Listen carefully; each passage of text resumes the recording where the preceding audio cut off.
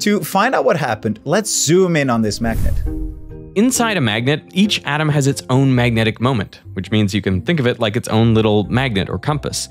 If one atom's moment points up, its neighbors tend to point that way too, since this lowers the system's overall potential energy.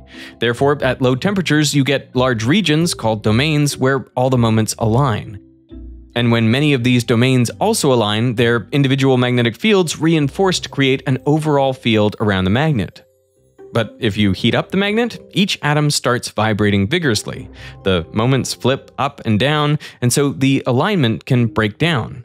And when all the moments cancel out, then there's no longer a net magnetic field.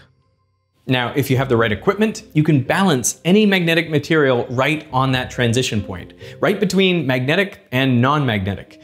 This is called the critical point, and it occurs at a specific temperature called the Curie temperature. I asked Casper and the team to build a simulation to show what's going on inside the magnet at this critical point. Each pixel represents the magnetic moment of an individual atom,